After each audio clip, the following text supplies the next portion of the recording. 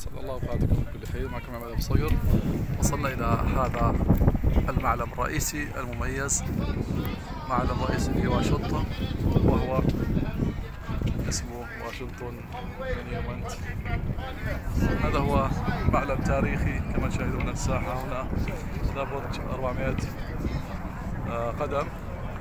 وهو يعتبر أعلى برج في واشنطن في هذا المكان. كما تشاهدون علو المكان جميل طبعا يستطيع الإنسان أن يأتي إلى هذا المكان ويصعد إلى